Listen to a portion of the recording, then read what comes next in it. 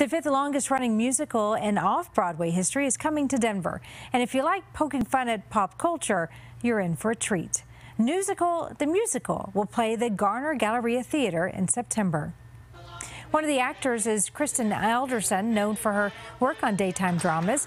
She's having a bit of fun getting her chance to do imitations of musical personalities. She says it's a blast to let loose in the show, especially when she gets to do her Britney Spears impression or another superstar singer.